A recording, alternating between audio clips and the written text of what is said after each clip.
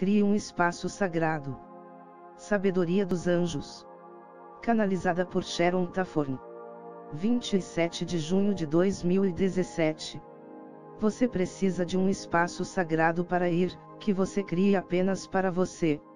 É o momento de encontrar a sua clareza, reconstruir a sua força e coragem.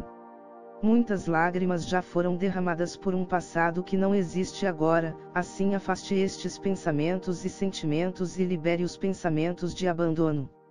Busque a sua conexão com o divino em sua própria verdade e em seu poder e redescubra o amor por si mesmo e pela sua jornada. Desperte e se liberte das ligações à sua volta. Aguardando-o está uma felicidade que flui, livre e amorosamente e sem as lágrimas da dor busque a sua própria verdade em seu espaço sagrado. O mantra para hoje é: Eu redescubro o meu poder e a minha verdade nos espaços sagrados. E assim é. Você é muito amado e apoiado, sempre. Os anjos e guias.